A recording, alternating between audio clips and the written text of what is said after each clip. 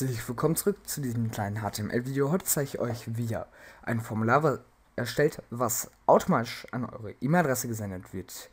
Ja, hier schon mal die Vorlage. Also da ist halt jetzt noch keine Grafik, Grafik hinterlegt, das könnt ihr aber dann selber machen. Ich habe in der Videobeschreibung eine ZIP-Datei hinterlegt. Diese müsst ihr euch downloaden, da sind nämlich zwei Dateien drauf, äh, drauf drin, wo dann halt hier einmal die Index ist das war halt das hier. Und da müsst ihr halt dann die Sachen verändern. Zum Beispiel halt Vorname. Und hier sind dann so Variablen.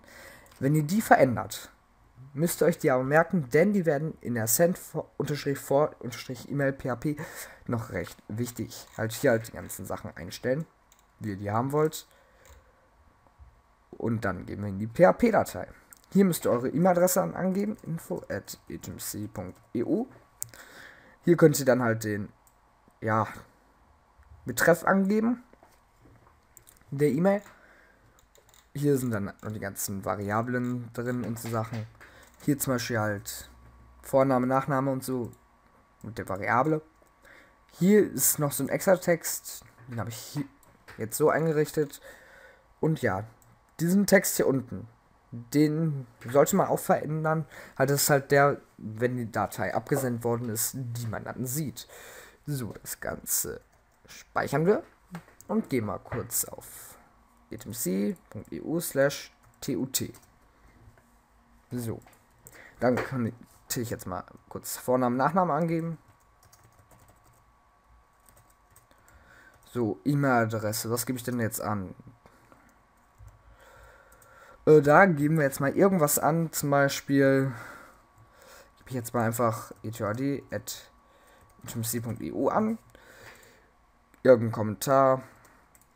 So, und jetzt, wir werden die Nachricht nachher lesen. Jetzt gehen wir in meinen E-Mail-Eingang. Und, aktualisieren. Der Nachteil ist, die E-Mail, die wir hier angeben, ist auch die Absende-E-Mail. Heißt, ich könnte mich einfach info.gommahd.net nennen und dann kriege ich halt die E-Mail von gommahd.net. Ja, das ist noch ein bisschen scheiße, aber das werde ich noch verändern. Ähm, dann wird es noch ein Update-Video geben. Ja, das war es soweit von diesem Video. Ich wollte nur noch aber kurz anmerken, dass hier der Plan ist, was ich wann mache. Und dann würde ich sagen, das fasziniert mir irgendwie jede Folge. Äh, dann würde ich sagen, sehen wir uns beim nächsten Mal und ciao.